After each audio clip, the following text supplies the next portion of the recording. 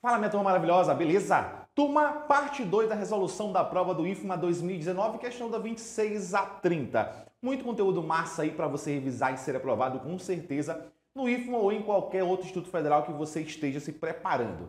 Para você que não me conhece ainda, sou o professor Tiago Araújo e já te chamo aqui pertinho. Vem aqui pertinho, quero te fazer uma proposta.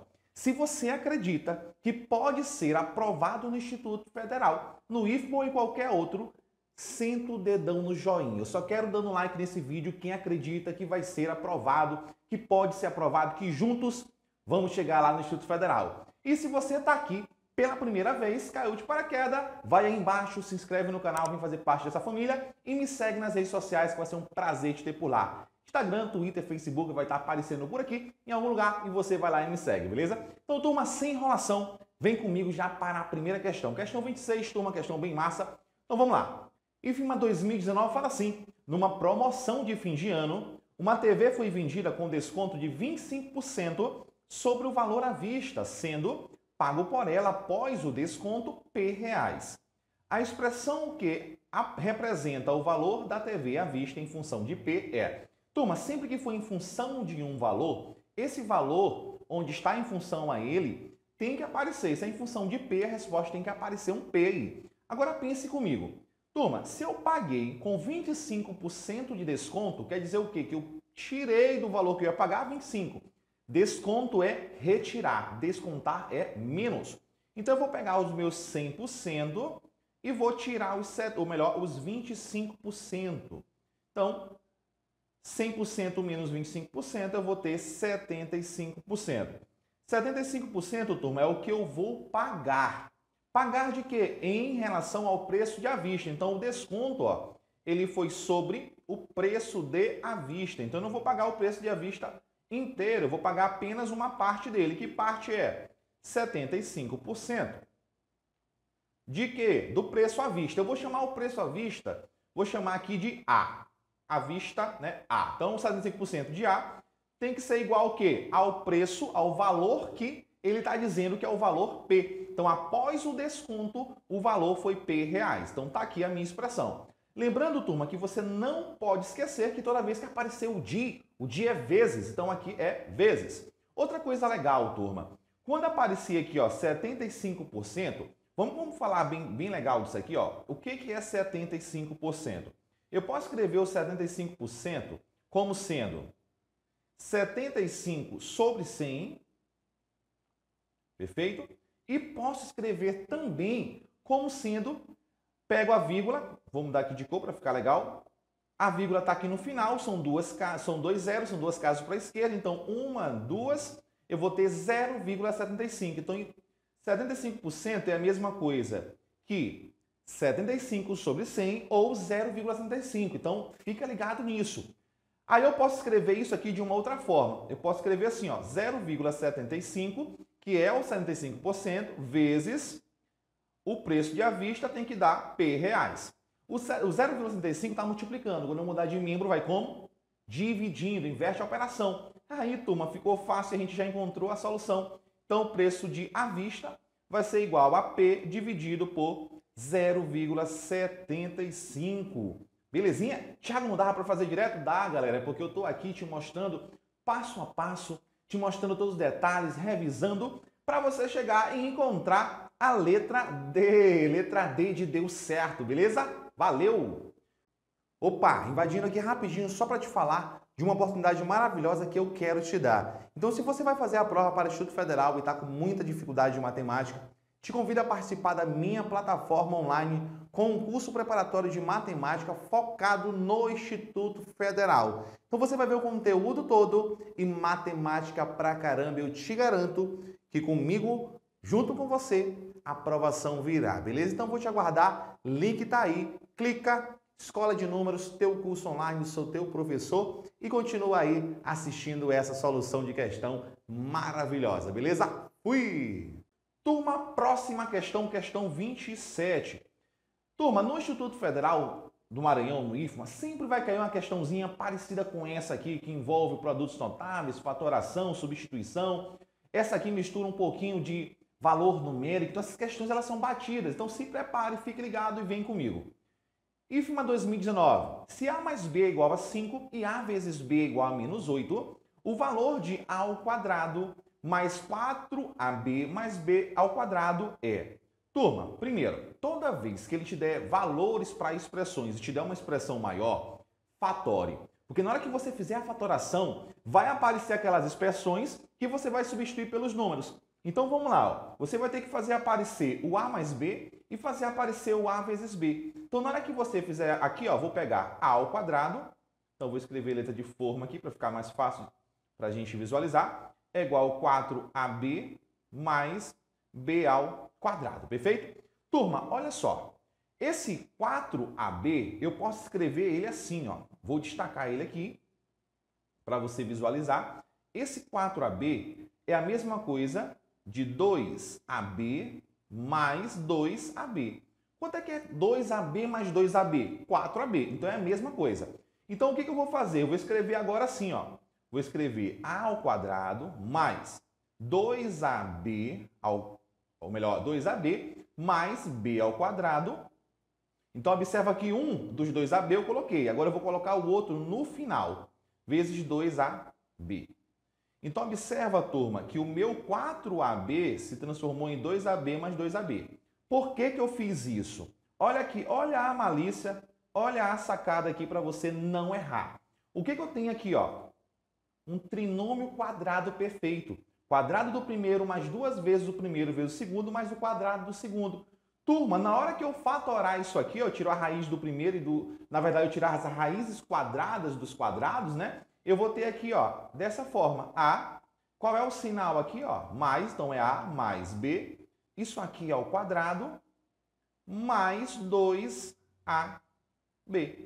Olha o que apareceu. Apareceu A mais B e apareceu AB. E isso, turma, eu sei quanto é que vale. Tá aqui, ó. A mais B é 5 e A vezes B é menos 8. Agora é só resolver. Então vai ficar aqui, ó, 5 ao quadrado mais duas vezes A vezes B, que vale quanto? Menos 8. Cuidado, toda vez que você substituir uma letra por um número negativo, coloque parênteses.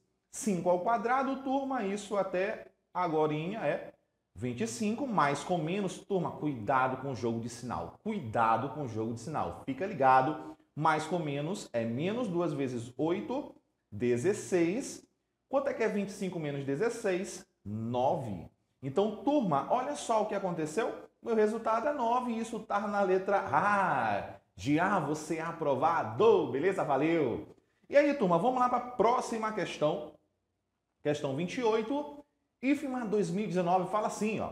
Se m é igual a x elevado a quinta menos x ao cubo dividido por x a quarta menos x ao cubo, o valor de m quando x é 2018 é. Turma, não cometa uma bobagem de substituir, de calcular o valor numérico de uma expressão com um número muito grande. Imagina só o valor que não vai dar se você pegar 2018 e substituir no lugar do x. Vai dar uma conta do tamanho do mundo que vai acabar o tempo da prova e você não termina essa questão. Então, toda vez que acontecer isso, que você tiver que substituir por um número muito grande, o que, que vai acontecer? Você tem que simplificar. Então, vamos simplificar. Ó. Você já sabe disso. Então, vem comigo. Você vai fazer assim. Ó. Então, Vou pegar e vou simplificar aqui, ó. Vai ficar assim, né? M é igual a x à quinta menos x ao cubo sobre x à quarta menos x ao cubo. Turma, como é que eu faço para saber como simplificar? Primeira coisa, sempre que eu tenho termos semelhantes, né, termos comuns, eu boto em evidência. Então eu vou usar aqui fator comum em evidência no numerador e denominador.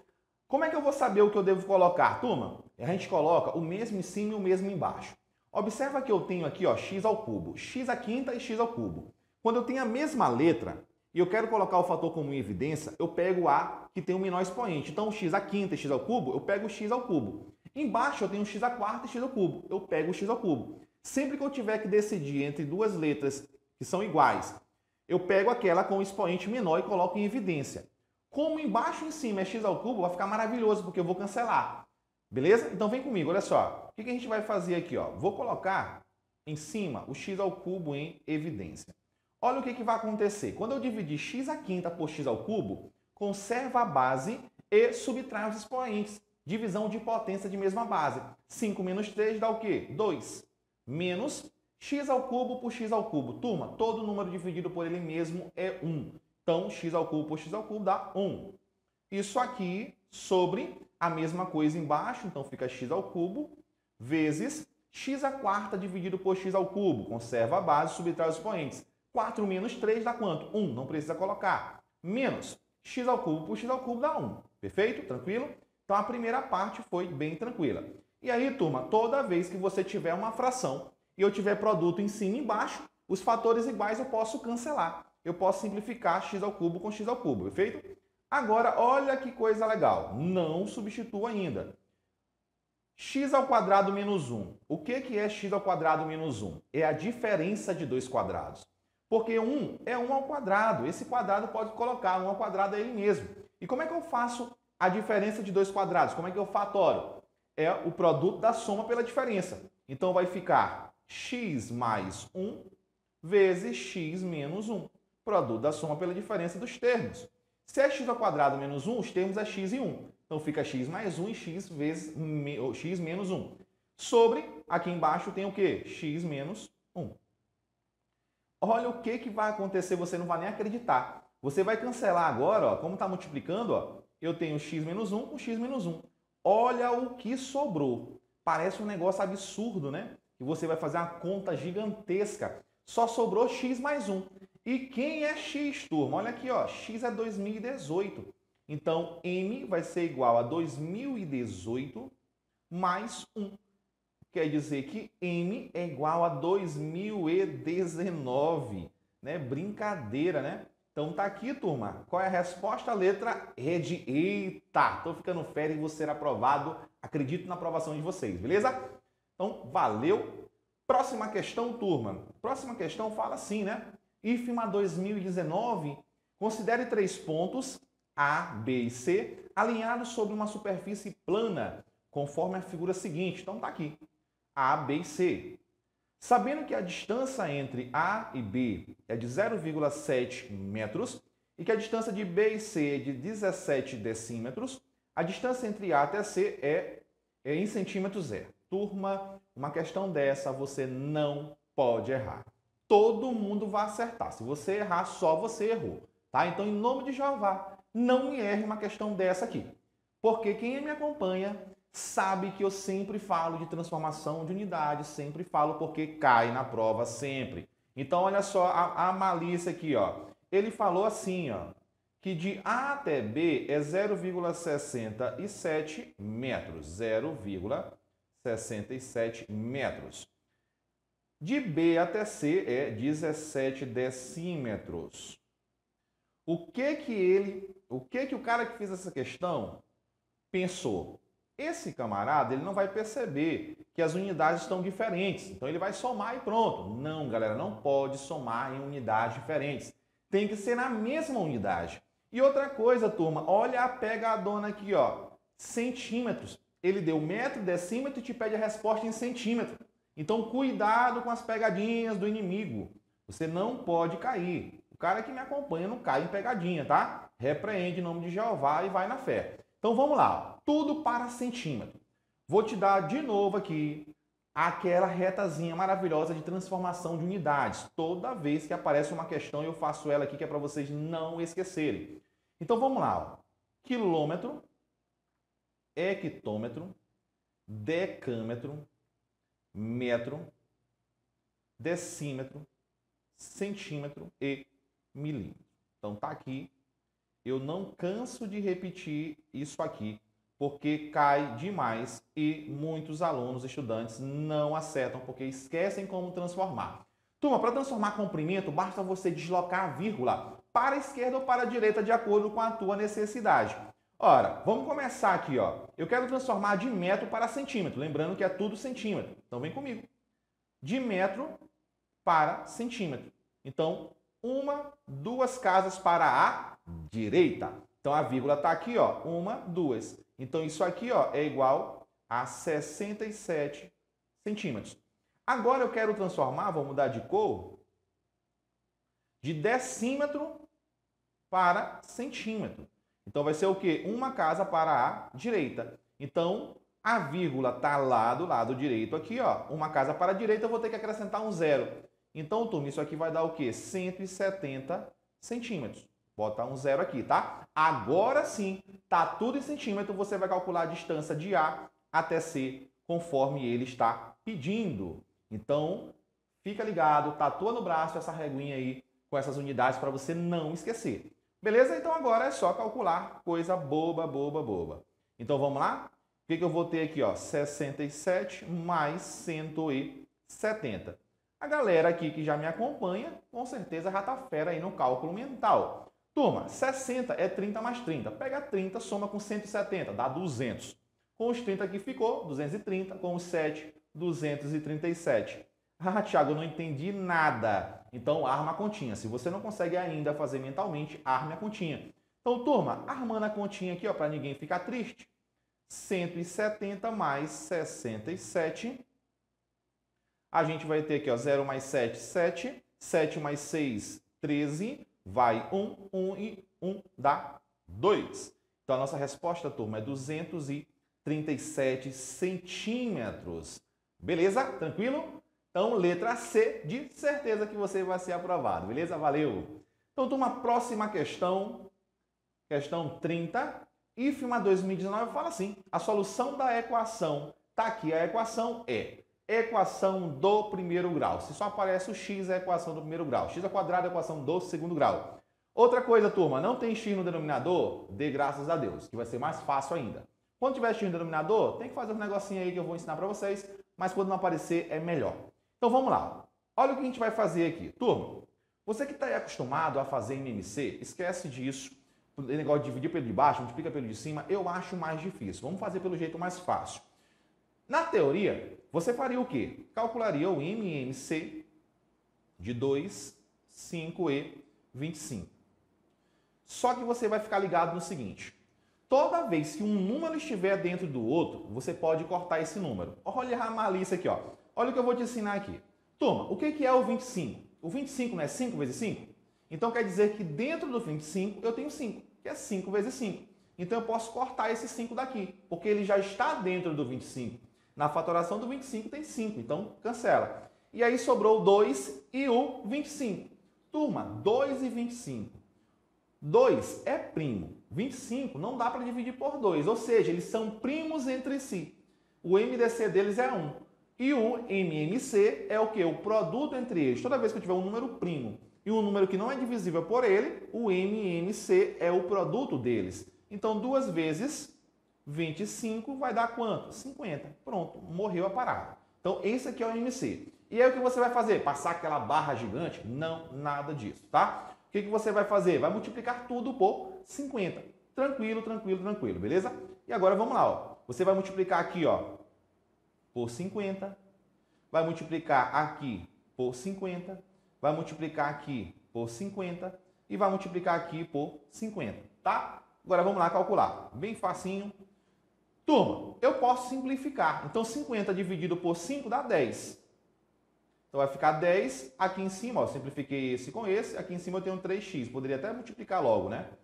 Esse 50 eu multiplico pelo 5, 5 vezes 5 dá 25, com 0 250x igual, esse 50 eu divido pelo 25, vai dar 2, 2 vezes 4, mais esse 50 eu divido pelo 2, vai dar 25, 25 vezes 11x. Vezes 11x. Beleza? Tranquilo? Então vamos lá. Então multiplicando agora aqui, ó, 10 vezes 3, 30x mais 250x igual 2 vezes 4 dá 8, mais 25 vezes 25 vezes 11. Turma, olha, olha, olha essa sacada aqui, ó, quando você multiplica por 11. Né? Quando você multiplica por 11, olha o que, que acontece. Você repete os dois números, os dois algarismos, afasta, e no meio coloca a soma. Olha o que, que vai acontecer aqui. Ó. Você vai pegar aqui ó, 225 Quanto é que vai dar 225? Você afasta o 2 e o 5 e no meio coloca a soma. 2, 2 mais 5 dá quanto? 7. Então 25 vezes 11 dá quanto? 275. Olha que coisa legal. Beleza? Aqui na frente, É, 30 mais 250, 250 dá 280x. Mais 275 mudou de membro, fica como? Menos 275.